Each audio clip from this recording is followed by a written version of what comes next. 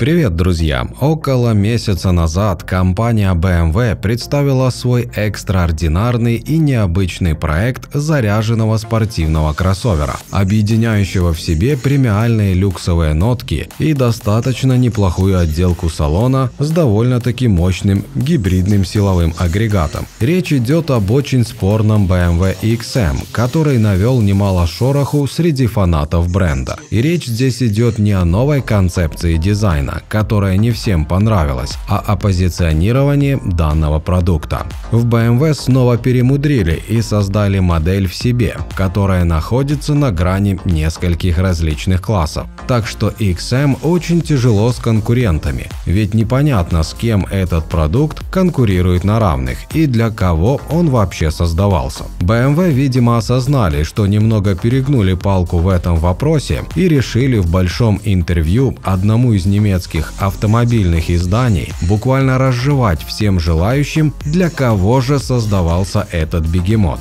Оказывается, новинка не рассчитана на актуальных фанатов BMW и она вряд ли их заинтересует. Если человек уже владеет каким-то продуктом компании, он вряд ли захочет отдавать достаточно большую сумму денег за еще один BMW X5 в более дорогой обертке и с достаточно тяжелой гибридной силовой установкой. Так для чего же создавался такой продукт? Оказывается, он рассчитан на тех клиентов, которые еще не примкнули к фанатам компании и рассчитан на актуальных владельцев Mercedes G-Class и, как это странно не звучало бы, Lamborghini Urus. Звучит парадоксально. Оказывается, в BMW считают, что XM прекрасно в себе сочетает качество итальянского быка и немецкого холодильника и на равных может заменить как один, так и другой продукт. Признаться, это очень смелое заявление мышления. И мне что-то кажется, оно не соответствует действительности. Я не представляю, каким образом XM может перетянуть к себе часть клиентской базы, ориентированной на покупку Lamborghini Urus. Конечно, не будем забегать вперед, и возможно, еще не представленная модификация Red Label окажется намного быстрее, чем базовая версия, и действительно сможет на равных конкурировать с итальянским кроссовером. Но я очень скептично отношусь отношусь к такому сценарию. Учитывая вес новинки, ей не хватит даже 750 сил, чтобы сравниться с тем же Урус. С геликом ситуация немного иная. Он не такой быстрый, от него не требуется такая динамика, и он больше ориентирован на имиджевую составляющую. Ему на руку играет его неизменный классический угловатый дизайн, который подкреплен очень богатой историей, которой у BMW